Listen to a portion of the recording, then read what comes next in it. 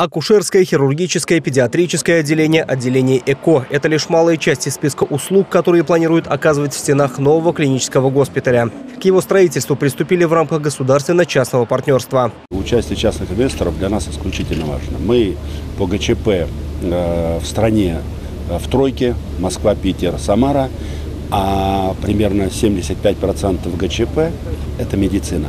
В социальную сферу и такую очень чувствительную сферу, как э, здоровье человека, как э, рождаемость, здоровье детей и так далее, вкладывать сюда инвестиции частные, я считаю, что это ну, очень большим продвижением э, в целом в Приволжском федеральном округе это будет уже третий подобный объект. Два предыдущих уже работают в Перми и Уфе.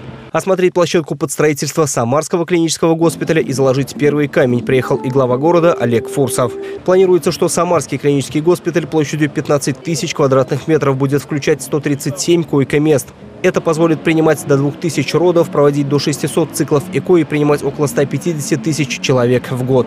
Самое главное, что здесь будут самые лучшие компетенции, самые лучшие технологии, что это большая э, школа, такой мощный центр компетенции для профессионалов, для э, врачей, для медицинского персонала, которые, получив здесь навыки, соответственно, могут уже реализовать в, любом медицинском учреждении страны, и вот эти компетенции, они могут потом распространяться в том числе на другие регионы. Это тоже крайне важно и для Самары, и в целом для системы.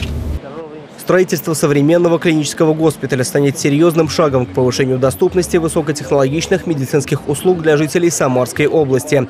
Также госпиталь станет клинической базой Самарского государственного медицинского университета и площадкой для освоения новых технологий, для развития медицины и укрепления здоровья жителей региона и не только. Мы ставим себе амбициозную задачу сделать э, наш регион э, центром медицинского туризма не только внутри нашей страны, не только внутри Пеложского федерального округа, но и привлекать международных пациентов. Я думаю, это будет очень хороший опыт в целом для страны, ну и, конечно, большой плюс для нашего региона.